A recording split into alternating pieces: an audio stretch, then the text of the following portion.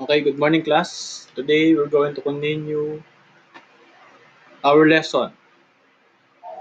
Lesson tungkol sa ating touch typing course. So, I hope na ba nood nyo na yung previous video natin. All about touch typing. Touch typing, sampung daliri po ang kailangang nagagamit natin. So, meron kasi sa previous na mga klasiko ng keyboarding, especially sa mga bisowa, 2 to 3 fingers lang ang ginagamit, which is wrong. So, sa course na ito, we're going to learn to key using our 10 fingers. Okay po? So, I hope naintindihan yan. Yan po yung nasa lesson 1 natin. So, we're going to proceed sa ating lesson 2. Okay? Lesson 2 is all about the letters E and I. Okay? Letter E and I po tayo. So, 2.1. Okay? So, meron tayong home rows. Meron tayong extension row. Ano yung extension row? Extension row po, yung po yung nasa taas ng ating home rows. So, extension row, ayan. So, meron muna tayong dalawang naka-highlight na letter sa extension row. So, letter E and letter I. So, middle finger po ang ginagamit. Kapag uh, when you when we are typing letter E and letter I. Okay? So, yung letter E and letter I, yun po yung dapat na gamitin. Daliri ay yung ating gitna. Okay po. Okay, proceed tayo. Okay. So, as you can see sa screen, ayan po yung position ng letter E at letter I sa ating normal normal keyboard. Okay? So, press ng space. Ang press, press po ng space ay yung ating thumb. Pwedeng kaliwa, pwedeng kanan. Okay? Press. Then, as you can see, naka-highlight yung middle finger ng kaliwa kapag pinindot yung letter E. Press na natin. Good. Then, we're going to press yung letter I. Right middle finger naman daw ang gagamitin. Letter I. Excellent. Okay? So, remember, letter E tsaka letter I, middle finger. Okay? Press space. Then, meron tayong uh, drill. Kung na-install nyo na class, yung Typing Master, pwede nyong practicein na yung letter E tsaka letter I. Okay po? So, meron tayo dito ang 3 to 5 duration. So, mapansin nyo dun sa aking video, yung unang lesson 1, meron na lumalabas agad na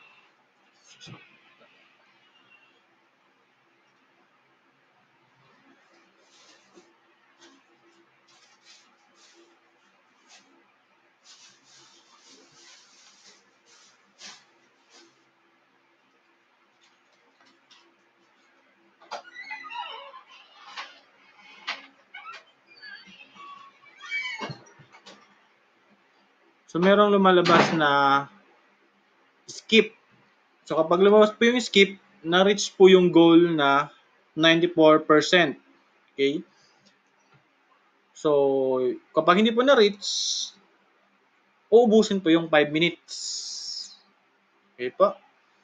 So, accuracy goal natin is 94. Once na ma-reach yung 94, so mag-skip po. May option na skip sa ating uh, drill. Okay? So, para mag-start ng drill, kailangan nating pindutin yung space sa mga naka-install na po. Okay po? So, space. So, ito po ay puro letter E tsaka letter I. So, mix po siya ng home rows. So, start tayo. Once I click ko po yung letter D, mag-start na po yung timer dito. So, mag-start na letter D, E, sa pagta-type po, pwede nyo pong basahin ng malakas or basahin nyo lang sa inyong isip para mas madaling mag-type. Okay lang po sa simula na mabagal. Kaysa po mabilis na mali-mali naman yung napipindot. Okay po.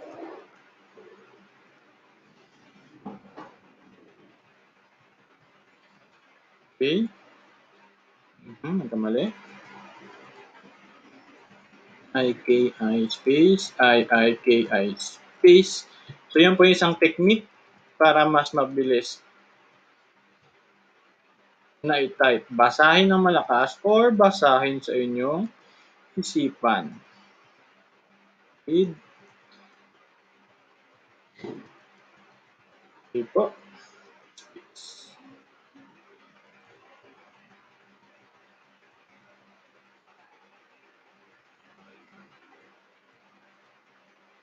Pasimula, so mahirap talaga. Pero pag nasanay na po sa pagta-type, madali na po itong gawin.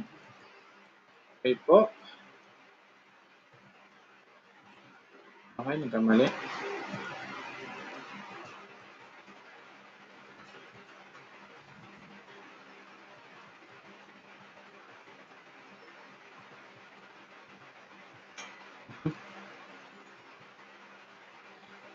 So usually po, sa during sa normal pa dati, yung mga estudyante, okay, so hinahayaan ko lang sila mag-type. So pinitignan ko kung tama yung mga daliri na ginagamit. So kapag nasa likod na nila ako, kinakabahan na. Yun po ay hindi dapat. So, wag naman sanang kabahan kasi titingnan na naman ni sir kung ano yung inyong ginagamit na daliri at sana tama yung inyong ginagamit na daliri. Okay po? So, hopefully, ay maintindihan yung typing. Kasi typing kasi siya eh. At least ma-memorize lang sana yung mga daliri. Sabi ko nga, you can buy i-keyboard kahit sa keyboard lang, makapakapa para mas maging familiar saan ba nakalagay o ano ba yung mga daliri. So, nasend ko naman na yung soft copy ng ating module. Sana mas madaling maintindihan mas ma-apply kung ano yung pampindot ng ako, mahirap pala mag-type habang nagpapaliwanag pampindot ng mga letters sa ating keyboard. Okay? So, si sir nagkakamali pa rin. Pero okay lang yun. Huwag lang masyadong lahat naman po ay kulay pula. Yan na, pumulan na. okay?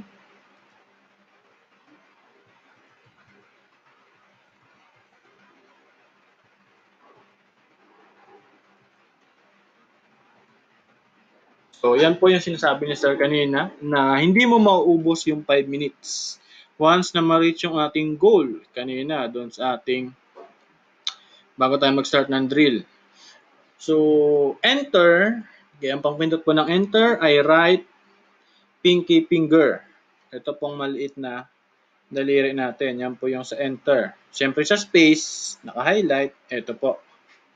So, enter na natin. Hindi ko natatapusin yung drill since na-reach natin yung ating goal. Okay? As you can see, ang ating goal ay 94% na accuracy. so, yung sa atin, since konti lang naman yung pagkakamali ko, meron tayong accuracy 98%. Ang ating net speed ay 27 WPM.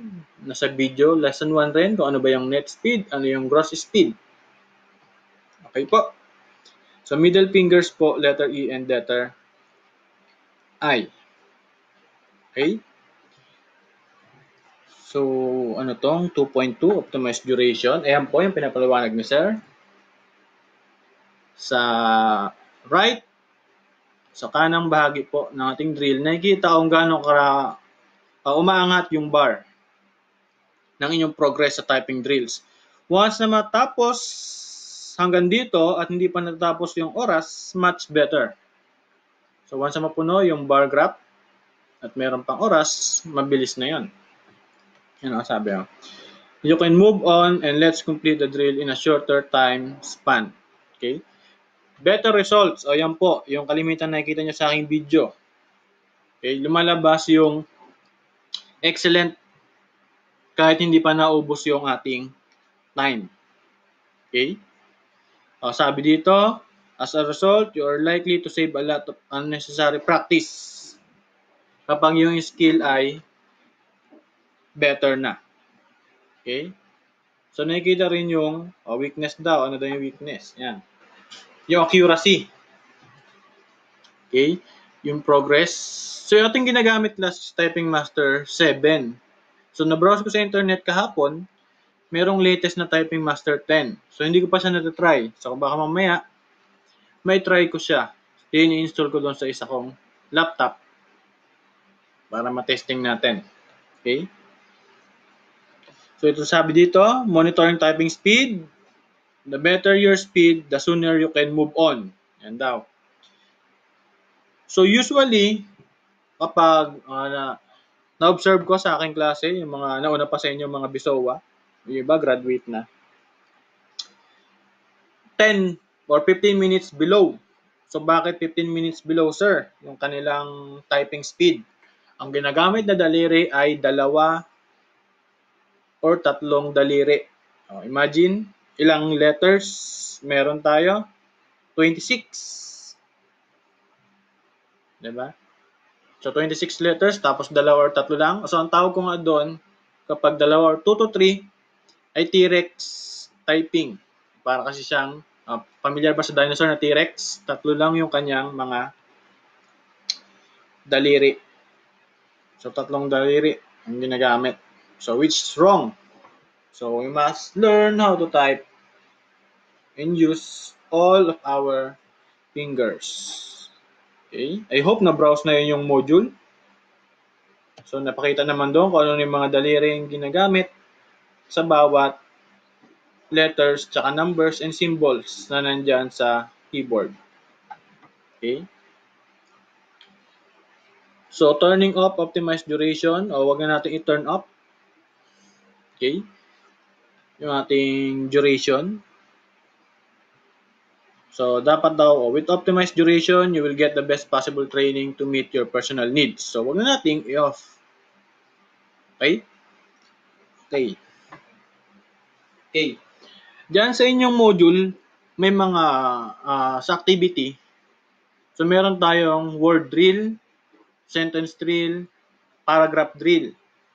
Okay po. So sa word drill, kalimit ng mga word, syempre word nga. Sentence, syempre may mga sentence. Then paragraph, sang mahaba. Okay? So usually kung anong lesson ka, for example, lesson 2 tayo, letter E tsaka letter I, puro po merong E tsaka merong I yung ating tinatype. Okay? So, start tayo dito sa ating 2.3. So, ang ginagawa po dito sa 2. Point, uh, sa mga typing test, Sir, meron po akong sample muna. Sir, meron po akong natapos ko na yung lesson 1. Hindi ko na ilista kasi requirement po sa akin, ipapasa ninyo yung inyong results ng aking mga uh, tinype sir, yung aking mga drills. Saan ko sir makikita? mababrowse ko pa ba or kailangan kong ulitin yung aking tinipe. So, pwede naman pong ulitin, pero makikita po yon dito po sa statistics. Okay? So, you can see, kung nabasa nyo na, meron tayong typing test. Yan, kalimitan, dyan ako nagpapa-hands-on exam or quiz. Hands-on activity. O kapag walang pangalis ng ano, sa laboratory, nag-games kami. Okay? Later on, i-discuss ko yan. So, dito muna tayo. Saan nakikita, sir, yung previous na aking activities? Yung aking net speed. Ito po. So, meron tayong statistics. Yan, yung aking uh, lesson 1.2, 1.4, 1.6, tsaka 1.7. So, yan po yung video na in-upload ko kahapon. Okay? So once I click ko ito, so meron siyang report. So, yan po yung isa-submit ninyo sa akin. Kung meron kayong naka-install na typing master. Okay, may kita po dyan. Pwedeng i-print, pwedeng i-save as PDF. Save as PDF ang gagawin natin. Okay. So, ano bang meron dyan? Yan. So, kahapon, so kahapon, di ako nagsalita. Dapat nagsalita ako kahapon. Okay. Kahapon po, Natapos natin yung 1.2. Okay? 1.4, then 1.6. Then meron tayo 1.7. Okay? So makikita yung gross speed, tsaka net speed, then yung accuracy. Okay po? So today, tatapusin natin yung lesson 2. Okay po, close ko na to. Sana naintindihan. So nakikita, statistics,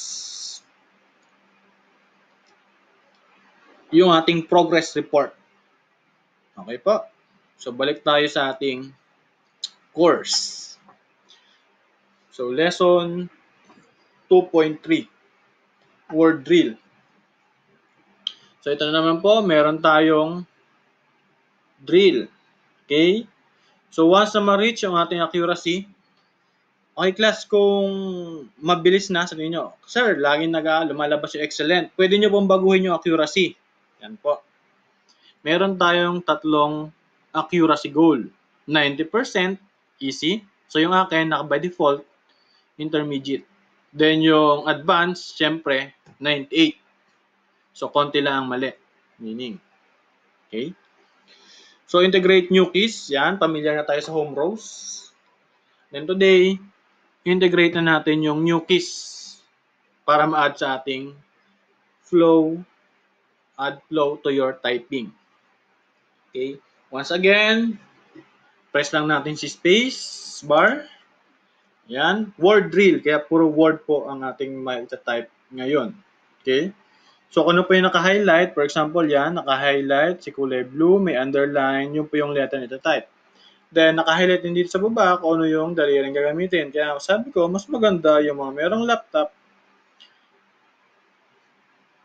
ma-install na yung typing master para ma-practice po sa bahay. So, start tayo. So, watch. If space, if space, il, il. So, pwede pong basahin para mas mabilis mag-type. Yan po yung aking technique. Okay? O kaya basahin sa isip. Okay? So, sabi ko kahapon, yung mga naka-install, try to beat my record. Pwede nyo pong screenshot, picturean. If meron kayong laptop or PC sa bahay at meron naka-install na Typing Master, Sir, ito yung aking lesson 1.2. Ito yung aking lesson 1.4. Okay po. So, yung record po, yun po yung papasa nyo before ng finals. Okay? That will be your activities. Okay?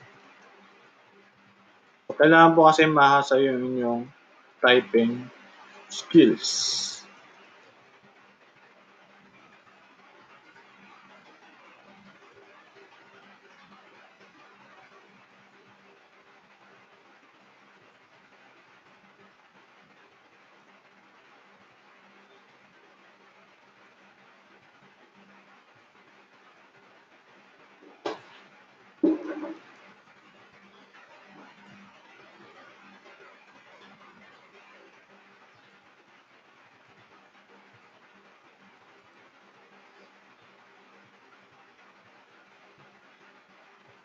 Ah, nagkamali. Okay, as you can see sa ating right side, ay merong progress bar. By the way, meron siyang pause kung meron kayong importante yung sasagutin na sa text or merong gagawin. May pause po siya. Ayun, pipindutin mo lang or hindi ka lang magta-type ng matagal. Pindutin mo yung pause, gamitin yung mouse. Dami ko ng mali.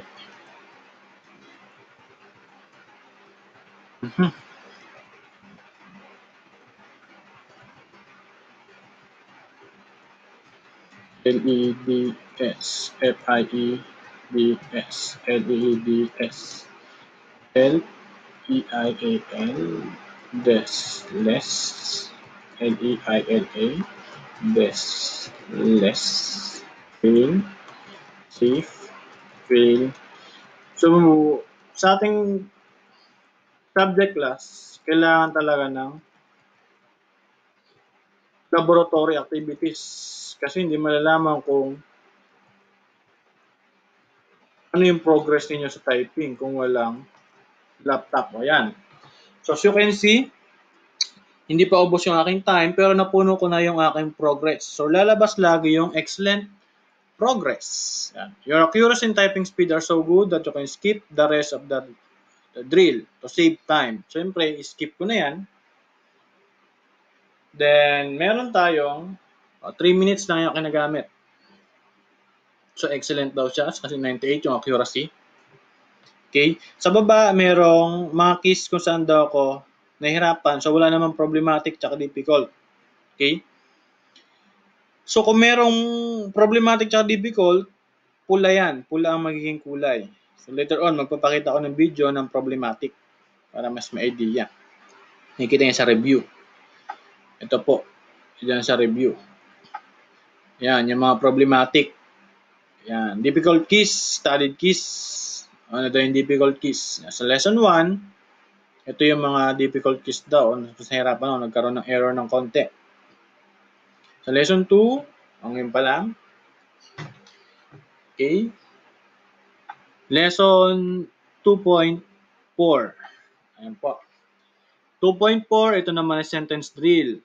Okay? Consolidation exercise. Meaning, home rows, tsaka E, tsaka I ang pinagsama na para ma-develop yung ating uh, memory, yung muscle memory natin. Then, mas mapabilis pa yung ating technique.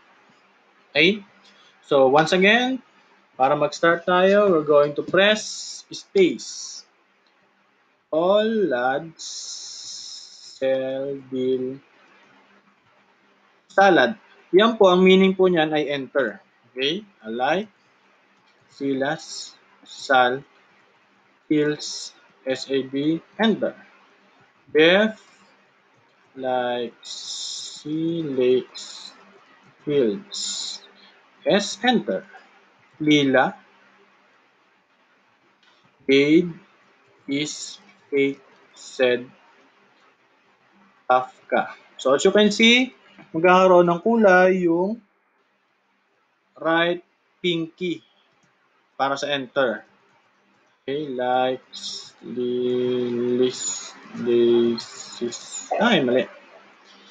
LC, leads, deal, Fiji, side, enter. Deal, sis, side, Leslie enter. All C aidless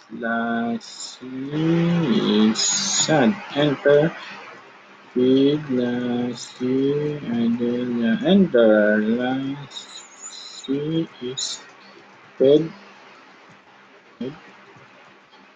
Pwede nyo basahin ng malakas, pwede rin tahimik lang.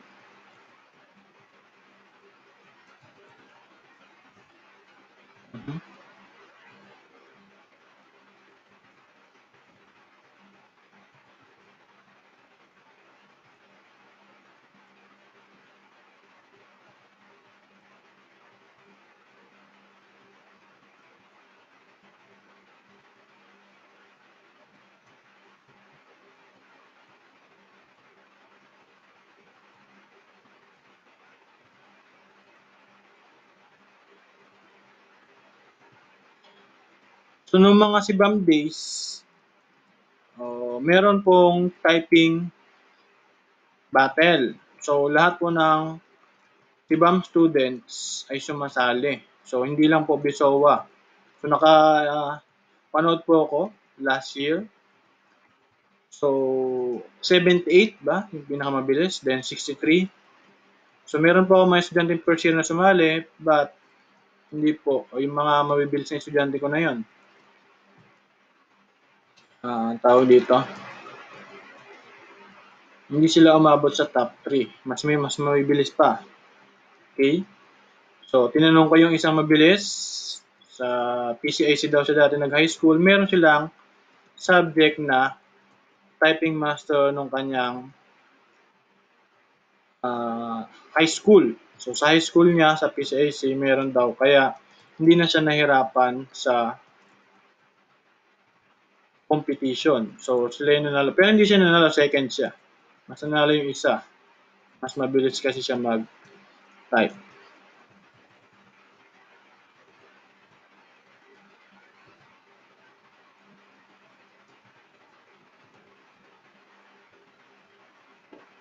Okay.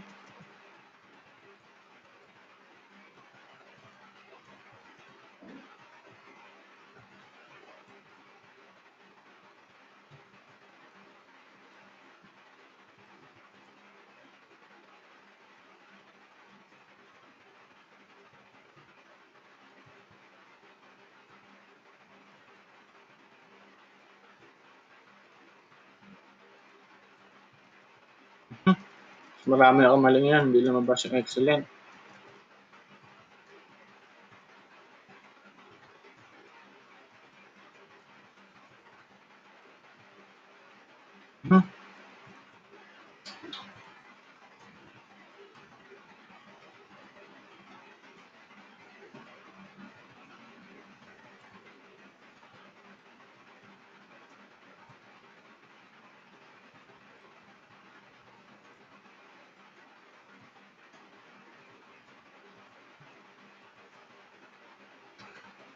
Pindot ko yung space. Alam ko na pindot ko na yung enter. Nako.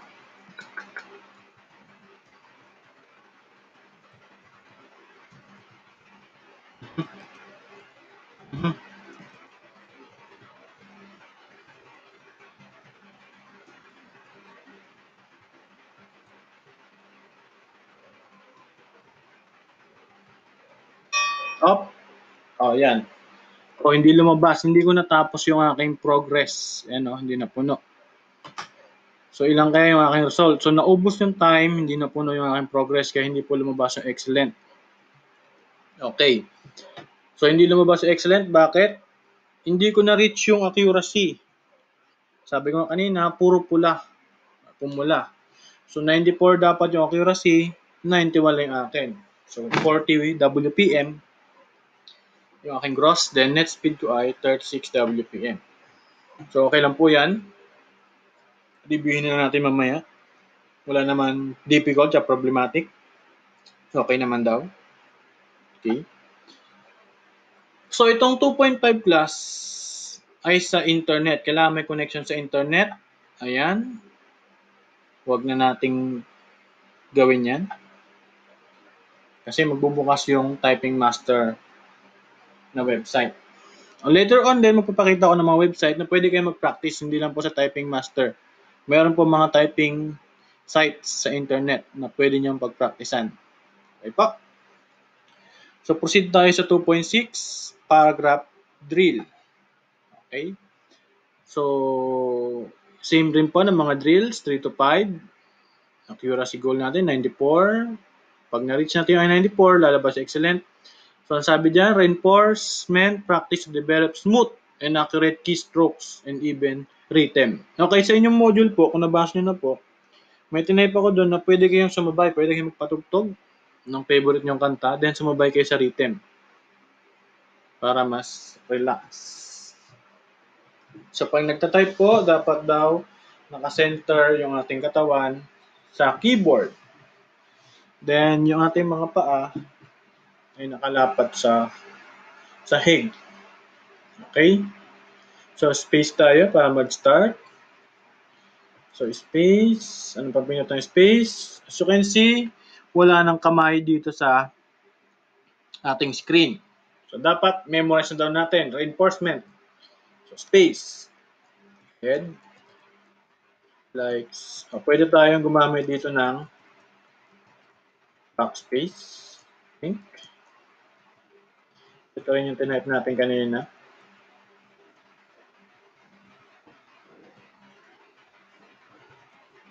enter, save, idle, align, cease, set up, backspace tayo, right pinky, edit, enter.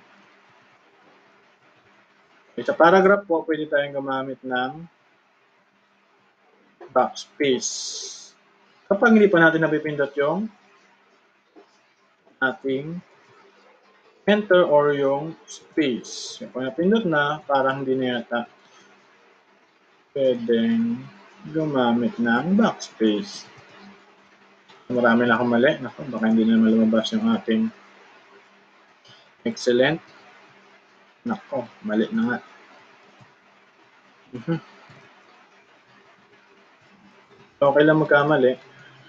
No, tapos yung ating daliri. Oh, mali na naman, sir. Pinabahan na.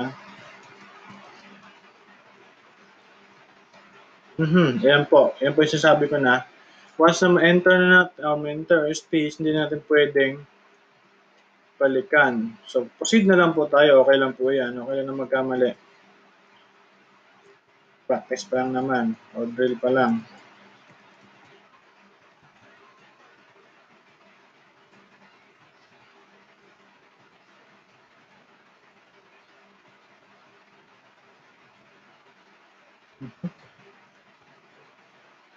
Nako.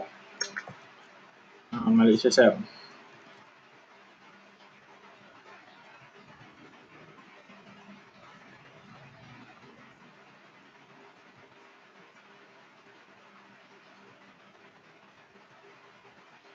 Sana meron kayong mga computer para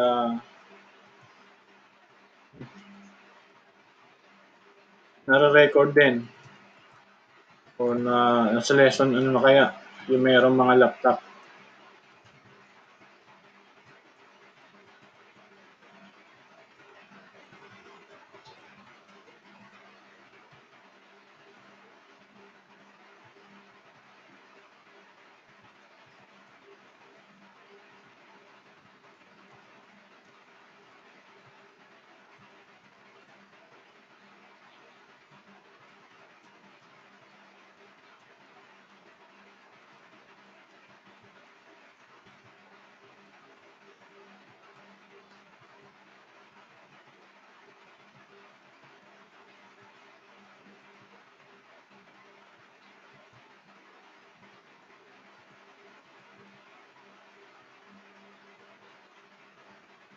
Mm-hmm. May lumabas pong uh, excellent progress. So, na-reach natin yung ating 94 accuracy.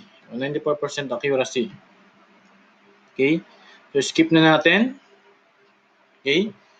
So, accuracy natin is 97. So, meron tayong 32 gross speed, tsaka 31 net speed. Yung WPM po, may nagtanong, ano daw ba yung WPM? Word per minute. So hopefully, pag natapos natin yung subject, yung training course o touch typing course, WPM nyo po is 40. Much better. Okay? So, lesson completed na po. Uh, sa ngayon po, lesson 2 is completed. Meron na tayo nalagdag aside from home rows. So, meron na tayong 10 keys na alam kung ano yung pampindot. Next lesson po natin is letter R and letter U.